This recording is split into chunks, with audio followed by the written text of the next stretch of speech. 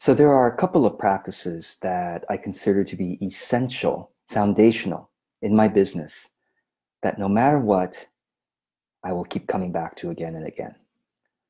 Well, one of those practices, you if you watch any of my other videos, you know uh, that I talk about this all the time. It's consistent content creation.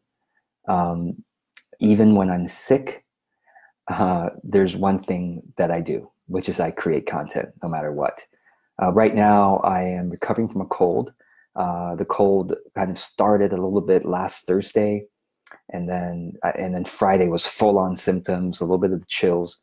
As you know, on Friday I made my video anyway. I was trying not to cough in my last video. I don't know if you noticed. Um, now I'm on the. I've I've gotten to the worst part of the cold. Now I'm kind of starting the the upward swing. Uh, my wife just made me put this on so that I don't get too cold. I said, no, this is too formal or whatever. She's like, no, put it on. Um, so content creation, consistent content creation, even when I'm sick, uh, is is is is like a religion for me. If there is a business religion, authentic business religion, I would say content creation is one of the foundational tenets of it, uh, because it's too easy. It's too easy to fall off that wagon oh, I'm sick right now, so I don't feel like it. I can't create content. No, no, no. No matter if I'm sick, I can create bad content, but I'm going to create it because, of course, bad is only in my own head. And of course, when I'm sick, I'm even more judgmental, probably of myself, more critical. And so bad content usually turns out to be okay content, sometimes even just right content from, for, for one's audience. So even no matter if you say it's bad, it's going to be okay. Um, uh, so the other practice, though, that's foundational, which I don't talk often enough about, and I probably should talk about more often, is frequent creative rest. And in fact, the fact that I'm sick now is uh, a reminder of how important it is frequent creative rest. And I, I, I especially during intense times of business. Like this, you know, March was an, a very intense time in my business. I launched my most popular course of the year, which is my Facebook ads course. Almost 200 people have signed up for it already, uh, and the year is just beginning. Um, and my most popular course, and then I launched my my new book. And so these two things, so intense, I needed even more rest than I already am good at doing. So let me just tell you what my regular rhythm is. And I want to encourage you to think and consider and practice, or if you want to let me know below this video what your rhythm is, uh, always curious. But I'm here to remind you to go back to thoughtfully creating and, and implementing your own rhythm of, of rest. Now, why do I call it frequent creative rest and not just frequent rest? Well, the reason is that when you are sleeping or when you are relaxing, okay, let's just start there. When you are sleeping, your brain is as active as when you are awake. Did you know that? A lot of people don't. When you are relaxing, just hanging out, doing nothing, however you relax, your brain is as active as when you are focused on your work. So, how can that be? It's different parts of your brain being active at different times. When you are focused, it is called your, uh, I think it's called the default mode. Uh, I'm not sure, but let's call it the focused mode. You know how it, you know how it is. All of us have experience being focused on our work. You know, you usually, you know, sometimes your your face looks like this, and you're you're really just intensely thinking about something or working on something. But when you are not working on something, your brain is in the diffuse mode, D I F F U S E, diffuse mode. Especially after you are you have thought about something for a few minutes and then you stop thinking about it and you go do something else, your brain is in the diffuse mode. And you probably have experienced moments of breakthrough, flashes of genius when you are not focused, when you are taking a shower, when you are going on a walk, when you're just sitting down doing nothing, when you're eating. Like, where did this idea just come from? This is amazing. Those breakthroughs and those flashes of genius are because you are using your brain's diffuse mode. And that is where most of your creativity, the, the most of the source of your creativity, actually, the power, the, your creative power, most of it is in your subconscious mind. I should have the stat for you. Someone please find this for me. But something like your subconscious mind is however many more times more powerful than your conscious mind. It's it's it dwarfs it. It's something like it's probably it's at least a thousand times your subconscious mind is at least a thousand times more active and powerful and creative and just has more like connections than your than your conscious mind. It's something like a thousand eh, it's it's maybe even something like a million i don't know but it's it's i know it's at least it's a huge number so it's at least a thousand times. So why do we spend so much why do we think that working means that you have to spend time going like this in front of the computer like like thinking hard? Okay now you, you could, of course you could be in diffuse mode in front of the computer it's not it's not the it's not the computer it's it's the it's the thinking hard that ironically, we misunderstand. You're actually thinking harder when you're not thinking hard. Let's put it that way. So, back to this idea of frequent creative rest. Why? Because if you don't rest, you don't allow, if you don't stop focusing, you don't allow for the mind's diffuse mode which is your most creative side of things. Problem solving, right? Overcoming a challenge, whatever it is, your your brain's diffuse mode has more resource for you than your typical thinking hard focus mode. Okay. So why frequent? So now we know why it's creative rest because you're tapping into the, the subconscious mind. Now, by the way, um, we can bring spirituality into this if we want to and say that maybe when you're not ego conscious focused, you're more open to spiritual intuition. And so whether you want to call it neuroscience, diffuse mode, you know, learning state, or you want to call it, you know, openness, non-ego, openness to angelic divine guidance, spirit, you know, however you want to say it, it's probably the same thing, right? It's obviously science and spirituality, if they're both true, if they're both true, they, they describe one reality. So it's just different language of describing different things. Eventually, hopefully, one one day in the not too distant future, there may be more merging of the two. But um, the fact is, when we're not egoic focused mode, uh, we're more creative. So now we know why cr- creative why it's called creative rest because you're more creative when you're when you're resting assuming you also add in occasional focus times now why do i say that again it's kind of like again i'll, I'll describe it in a scientific way, and I'll describe it in a spiritual way. The scientific way is the diffuse mode is most effective when you have already done some focusing. So if, if somebody all day long, they never focus at all, the diffuse mode is basically using its power to do very random thoughts and you know nothing that productive you might say productive okay? But if you want to solve a problem or create a project you can focus for a little while and who knows how long that little while is before the diffuse mode is effective. Some people say it's a few minutes some people say it's half an hour some people say it's 60 minutes whatever but if you focus for on a project for a while and then you, you walk away from that project and you go and relax your mind basically that's when the diffuse mode kicks into action and sometimes oftentimes you have some kind of breakthrough or some new perspective when you come back and, and work on the project again. Okay, so so creative rest. Now, why frequent? Frequent is because we are interspersing focus mode and diffuse mode, focus mode and diffuse mode. So instead of egoic left brain focus intensity for like hours and hours and hours, which number one is not fun.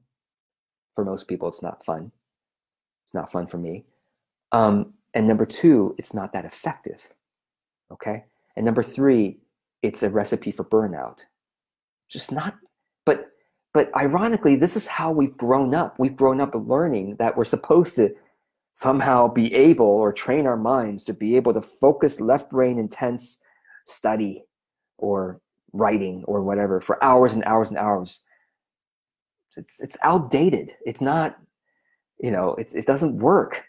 I mean, people can force themselves to do it, but they would have been even more creative and even better problem solvers and even better writers or you know uh, musicians or artists or business people if they had respected the diffuse mode, not just the focus mode. So I said I was going to describe it in in, in uh, scientific and spiritual. So scientific is neuro, neuroscience is showing us the importance of switching off between focus mode, diffuse mode, focus mode, diffuse mode many times, as long as you have enough focus where you can actually plan something and, and, and write something or create something and then diffuse mode. Um, how long is should the diffuse mode be? I don't know. Maybe someone can do the research and find out. But even even two breaths, I find even two breaths of gentle breathing kicks the diffuse mode in just a little bit. But I would say usually several minutes at least is, is good for the diffuse mode. So that's a scientific description. The spiritual description, the spiritual way of saying it would be well, this is where this is where the law of attraction makes sense. You focus on something and then you surrender. You you intentional intentionally work on something and then you surrender it to God and let God do the rest. Focus, let God. Focus, let God. And that's a spiritual way of saying focus mode, diffuse mode. Okay. So you focus and then let intuition guide you. Left brain and then right brain you know, scientific and then spiritual, right? So frequent creative rest is is continually interspersing the focus mode, diffuse mode, left brain, right brain into your day. So, how do you work is the question that needs to be addressed here. Do you have this model of, well, if I work, I'm going to be sitting down at the computer for an hour to four hours at a time and then getting up and taking a break. You are not this not respecting your focus mode, diffuse mode. You're not respecting your left brain, right brain integration. Okay. I have a well, recently there has been the popularity of the Pomodoro method, which you may have heard of. If you haven't heard of it, it's basically working for 25 minutes and then taking a break for five minutes, and then working for 25 minutes and taking a break for five minutes. So every time you work for 25 minutes and you take a break for five minutes, that's called one Pomodoro. Okay, it's called one Pomodoro. And then after several Pomodoros, 25, 5, 25, 5, 25, 5, you then take a longer break, a 15 to 30 minute break. So that's become popular in the recent years. And whoever came up with that, I don't know if they knew about this focus mode, diffuse mode uh, neuroscience, but it matches the neuroscience very well. And it matches spiritual productivity well as also. So that's how I work throughout the day.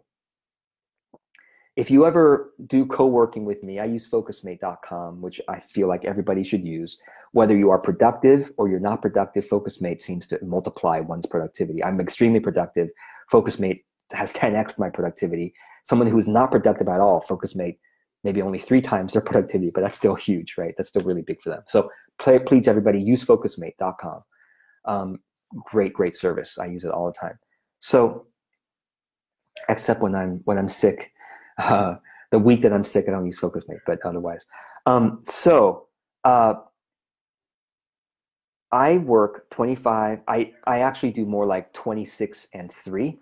So I work for 26 minutes and then I take a three minute break and then another 26 minutes and then, you know, five minute break or whatever, longer break at the end of the hour before my next uh, session or before my next appointment. And during those breaks, what I do is I do a three minute uh, stretch routine along with my energy reboot. Now, if you want the full stretch routine, I taught that in my joyful productivity course. So for those of you who have that course, just go into session one and you can see my full stretch routine there. Um, and if you haven't bought the course, you can. You can buy the course if you want uh, my full teachings on joyful productivity. But anyway, just wanted to make sure you you do at least this. You at least look at your own work habits and say, am I respecting the diffuse mode enough? And my way of thinking about that is frequent creative rest. Or, by the way, another way of saying it is frequent self care. Frequent self care. That's really what it is. Okay. Frequent self care or frequent creative rest or respecting your diffuse mode or whatever you want to call it, Pomodoros. Are you doing that? Now, by the way, I'm not saying you have to do 25 or 26 minutes before you take a break. Um, some people like to do 45 minute, 15 minutes. Okay. And some people like to do 60 minutes, you know, in 15 minutes or whatever it may be. But design some kind of regular rhythm of breaks into your day. And the and the and during the break, you could, like I do, my stretch routine with my energy reboot. Okay. Or you can go and get get some tea. Okay. Go for a walk, go take a nap, go get a snack, go play with your pets, go, you know, whatever, whatever, go, you know, go text a friend or whatever you, you want to do. Go read a book, go listen to some music, go do a dance. dancing is a great way to take a break. But the key is to build in frequent breaks. And honestly, I think the more frequent, the better. This is why the Pomodoro method works so well. Now, you might say, George, do you really feel like taking a break after every 25, 26 minutes? No. And, and I think that's also one of the one of the keys to personal development, right? Is to do things when you don't feel like it, knowing that it's good for you, knowing that whatever you feel like in the moment is probably a trance. We are in trances all day long. We get into this trance and then that trance and then this trance and that trance, and it's it's up to you for your own self-care and your personal growth to break the trance consciously. That's what conscious living is. It's breaking your trance at any one time to say, no, I'm going to insert a purposeful activity now into this trance that I'm in. So work is a trance too. You're like writing something, you're like, no, no, no, I'm really focused right now. This is really working. I'm not going to take a break. It's probably a mistake. I interrupt myself all day long. I interrupt myself, interrupt myself, interrupt myself because I noticed that when I interrupt myself and go take a break, walk around, pace around, do my stretch routine, get some tea, do my energy reboot, come back, I always, almost always, I have a new perspective about what I'm writing about or a fresh energy to continue writing or whatever it may be. So just because you're you're you're on the train, a thought train, don't be afraid to pause the train. Go move your body so you move your brain, come back and continue the train because you'll find that you have a better you have a better perspective. It's always some something again. Why? Because you have just engaged the diffuse mode of your brain. You have just surrendered spiritually and allowed intuition to come in.